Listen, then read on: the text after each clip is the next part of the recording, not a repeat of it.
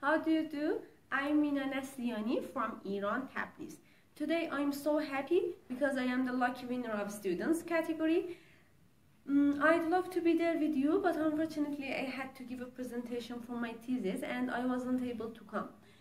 Uh, I was interested in the topic of this poster festival because I think understanding of the cultural roots is very necessary for everyone. And the knowledge of letters and writing is one of them. It helps to discover common points between countries and civilizations, and it also improves their relationships and makes new experiences. I want to thank the whole Graphic Stories team in Cyprus, Nicosia, beautiful island. Thank you for everything. You are great. I, I'm glad to win this prize, uh, but as you know, winning the prize is not the end for designers maybe it can be a positive energy and motive for them to work hard and continue. Uh, but in my opinion, it can be a good reason for them to see the best works of other international designers and communicate with each other.